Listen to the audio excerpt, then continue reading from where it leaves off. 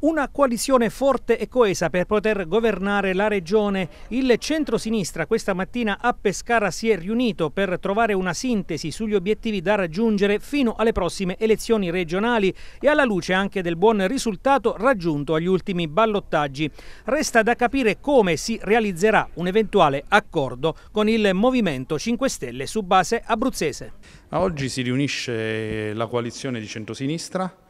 e cioè i partiti che si riconoscono nel centro-sinistra, i consiglieri regionali, i parlamentari.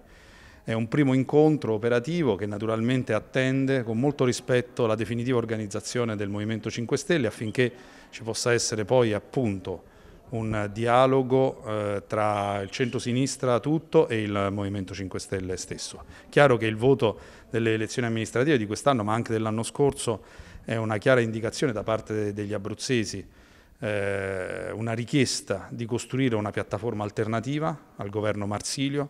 che è giudicato inefficace e lontano e noi dobbiamo farci carico di questa responsabilità, lo faremo tutti insieme, quindi inizia un percorso di condivisione perché un'alleanza ci può essere tra noi e naturalmente tra il centro-sinistra e il Movimento 5 Stelle se ci sono principi e programmi condivisi. Lo dicono tutti, lo diciamo anche noi, vogliamo capire se ci sono. Io naturalmente sono molto molto fiducioso che, che ci possano essere poi quando avremo definito eh, i nostri punti di condivisione dobbiamo interloquire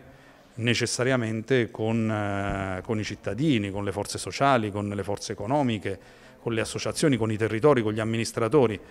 eh, siamo convinti di poter eh, scrivere le pagine che servono a questa nostra regione, soprattutto in questa fase delicata, perché tutti insieme siamo all'opposizione del governo Marsilio e tutti insieme siamo